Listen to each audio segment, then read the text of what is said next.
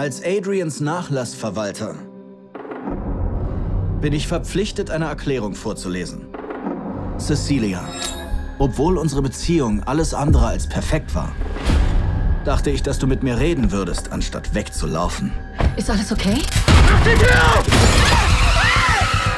Was ist mit ihm passiert? Pulsadern aufgeschnitten. Seinem Testament entsprechend bekommst du 5 Millionen Dollar. Das Kleingedruckte verbietet dir aber ein Verbrechen zu begehen oder für unzurechnungsfähig erklärt zu werden. Das ergibt doch keinen Sinn. Was? Adrian würde sich nicht umbringen. Hör zu, du bekommst deine Freiheit zurück, okay? Lass nicht zu, dass er dich verfolgt. Hallo?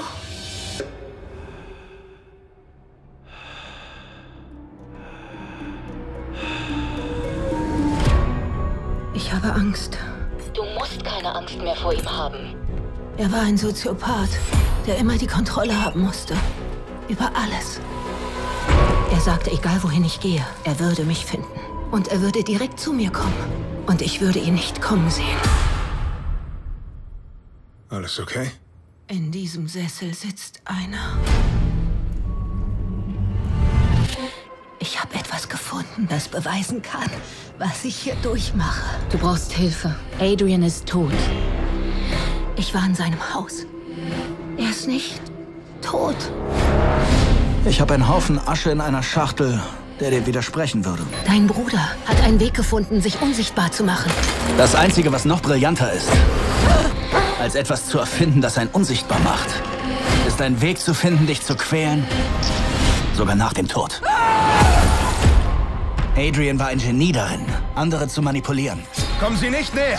Hey! Ich bin nicht verrückt. Bitte hören Sie mir zu! Sie sagen, die Person, die versucht, Sie zu töten, ist gerade in diesem Raum. Aber wir können ihn nicht sehen. Ihr hört zu. Wo bist du? Wo bist du? Zeig dich! Komm schon! Tu es! Da bist du.